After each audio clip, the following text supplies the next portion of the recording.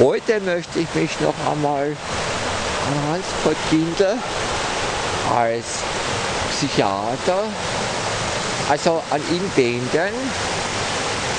Und zwar, um noch einmal aufzunehmen, die Gunst und die Missgunst in unserem gegenwärtigen Geschehen und vor allem bei uns im Eichfeld. Also im Konkreten, im Speziellen sozusagen. Aber du kannst es natürlich auch allgemein auffassen oder globaler.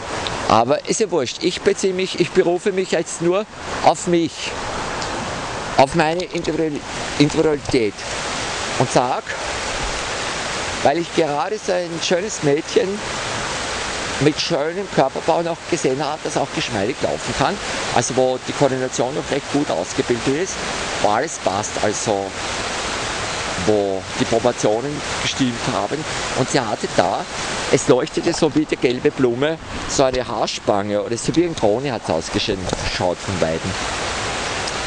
Und da habe ich mir gedacht, dass sich vorstellen können, einprägen, auch wenn dieses Mädchen schon vergeben ist, kann ja äh, nur vorteilhaft sein, wenn man irgendwo noch Appetit im Erkenntnisapparat hat, verstehst, auf Schöne.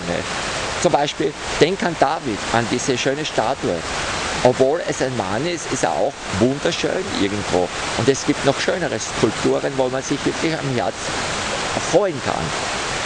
Und so hätte ich auch die Möglichkeit, nachdem ich noch nie seit ich mit 14 Jahre, äh, äh, Jahren aus, aus ähm, Elternhaus von meiner Mama nicht mehr verpflegt wurde und selbstständig immer gelebt habe oder, oder unter Monasterien, Haushalten, selbst wir uns haben, könnte ich sagen, ja, es, ist doch, es muss doch gestattet sein, dass man den eigenen Erkenntnisapparat frei hält.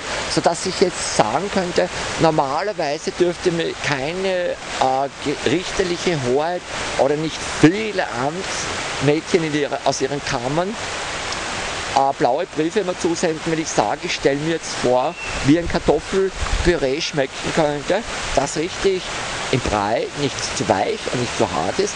Und wenn man so geröstete äh, Zwiebel äh, Scheiben so drüber legt und dann mit einem Spiegelei oder Fleischstück mit Salz bestreut und dann, wenn man ein bisschen Pfeffer, so je nach Geschmack und dann den Spinat. Und das alles gekornt auf verschiedenen Tellern legt. Verstehst Also die Gunst, dass man da nicht dann wieder tausende blaue Briefe eingeschrieben hält. Verstehst Nur wenn man sich vorstellt, die Kurven eines schönen Menschen zum Beispiel, sei es ein Jüngling, David oder Daniel, Löwengrube oder ein schönes vorbeilaufendes Mädchen oder ein gutes Mittagessen, das man zwar 30 Jahre äh, entbehren musste, aber wenigstens noch vorstellen kann, wenn man sich zurückdenkt an das zwölfte Lebensjahr als Knabe, wie war es, als ich einmal zum Beispiel erhalten habe, eine gefüllte, mit Reis und Fischierten gefüllte Paprika aus dem Bratofen. Oh, gut. Verstehst?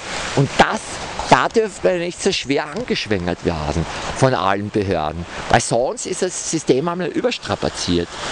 Vor lauter Missgunst, verstehst?